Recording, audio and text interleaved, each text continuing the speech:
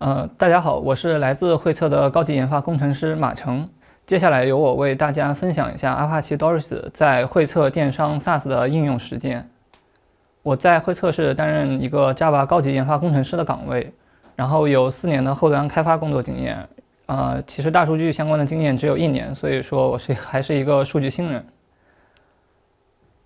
呃，接下来我会从这几个方面来为大家介绍一下 Doris 在我们公司产品的一个应用。首先介绍一下我们的公司，我们是一家技术驱动的智能零售服务商。嗯，这个呢是我们大规模使用 Doris 的一款新产品。我们的上游主要是一些电商平台、直播平台以及我们自己的电商 ERP 系统。这些系统在交易的过程中会产生各种各样的数据，包括收入、成本。以及各种各样的费用数据，上游这些数据呢，相对是比较分散的。如果客户自己去汇总这些数据信息，会非常的麻烦，而且不够直观。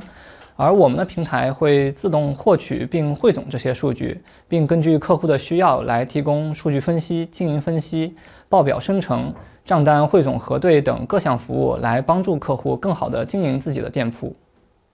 呃，那么我们这款产品在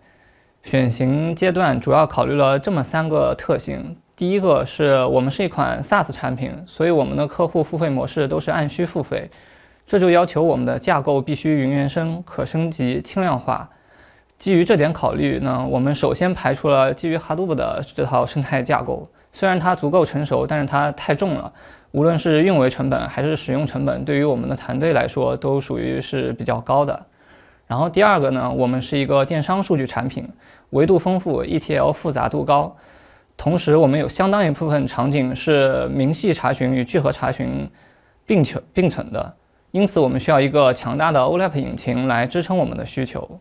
第三点呢，就是我们是一款 To B 的产品，我们的客户规模差异比较大，可能小客户的月单量只有一万，而大客户已经达到了千万级别，所以我们希望能够给这些客户分配相应的资源。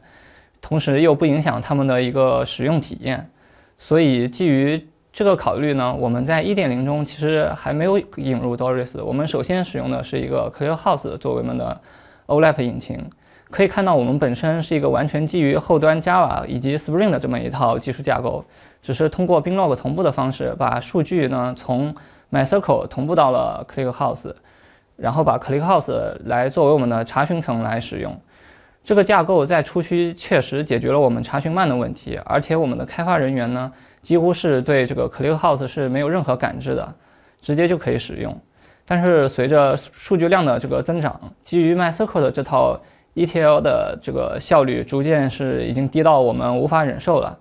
因此呢，呃，就是而且这个大查询大表的 Join 查询性能在。数据量的增长之后，我们发现，在 ClearHouse 里面也性能也大不逐渐不满足我们的需求，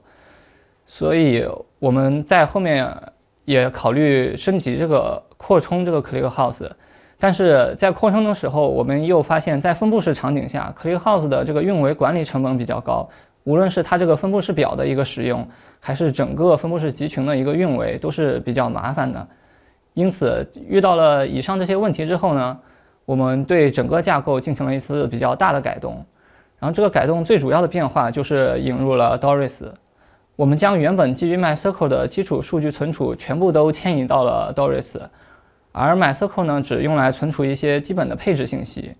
这个迁移极大的提升了我们的 ETL 效率。除此之外，我们的存储成本也得到了非常大的减少。在实际对比下，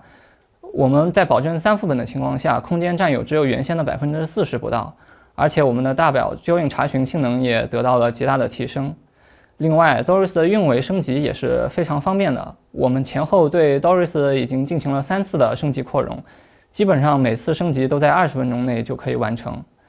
然后在我们 Doris 的使用过程中呢，也探索了一些基于 Doris 特性的应用方式，在这里和大家分享一下。嗯，首先是我们在建立事实分区表的时候，会根据我们的客户规模来提供相匹配的分区方案。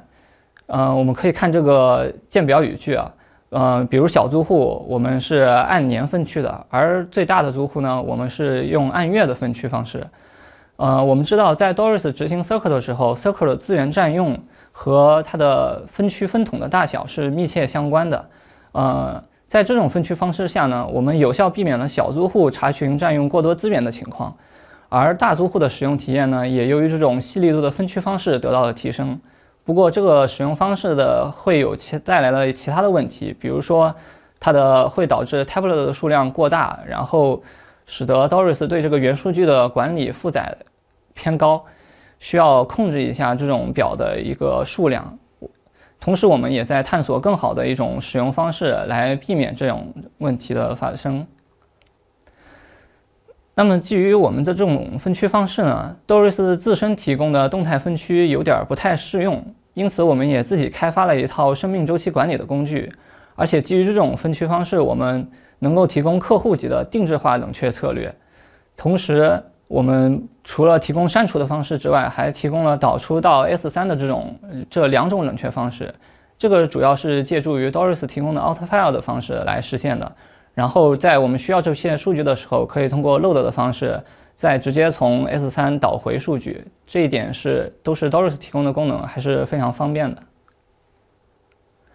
呃，接下来的这个应用呢，是因为我们发现，就是在使用过程中，compaction 的效率对于 Doris 的性能影响还是比较大的。我们通过查看官网的一些资料，以及通过其他的一些视频的参考啊。发现 Doris 在 compaction 的时候，这个策略是还是比较复杂的。我们可以在官网看到非常多的参数是和 compaction 相关的。我们从中挑选了两个来调整，尝试调整一下，呃，来看看能不能提升我们的这个 compaction 效率。呃，第一个这个参数是每个磁盘可以并发执行的 compaction 数量，这个我们是从二调整到了四。然后第二个这个参数呢是。在 Doris 在选择 compaction 的 tablet 的时候，会有一个权重的考虑。呃，默认的情况下，Doris 会选择版本数最高的 tablet 来进行 compaction。然后呢，会有一些场景，比如说一些大表，它的版本数量不高，但是我们需要频繁的去查询它。如果它的版本数即使是不是最高的，但是我们也需要去对它进行 compaction 操作，来提升我们的查询效率。因此，就是我们可以通过调整这个参数的方式来提高这些 tablet 的权重，但是在实际的操作过程中，我们发现调整这个参数，呃，除了是我使我们想要调整的那些表得到了 compaction 之外，其他的一些我们不想要调整的表也会因为这个参数会被影响。因此，我们又选择把这个参数调整回了默认参数。呃，同时探索了另外一种方式，就是通过手动触发的方式来触发这个 compaction。呃，基于我们的一些对